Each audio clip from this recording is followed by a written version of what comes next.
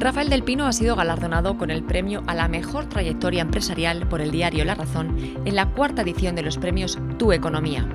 El diario ha querido reconocer una trayectoria que da comienzo en Ferrovial como ingeniero en Libia hasta alcanzar la presidencia en el año 2000, posicionando a la compañía como uno de los referentes mundiales en la gestión y operación de infraestructuras.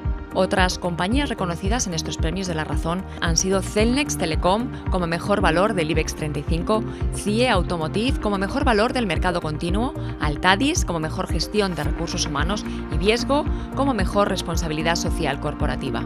Del mundo del emprendimiento y la innovación, las compañías premiadas han sido Scalpers, Hausers, Trison y la plataforma de aceleración Creciendo.